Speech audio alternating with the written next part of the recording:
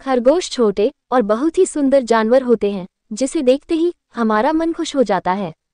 लोग इसे अपने घर पर पालते हैं और इनके प्यारी हरकतों के कारण हम अपने आप को इसके कोमल शरीर को हाथ लगाने से नहीं रोक सकते हैं।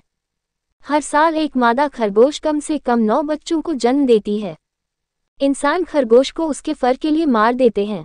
ये बहुत दुख की बात है कि इन मामलों में इस जानवर को तरह तरह की तकलीफ़ को सहना पड़ता है। कुत्ते और बिल्लियों से ज़्यादा खरगोश को एक छतर की ज़रूरत होती है।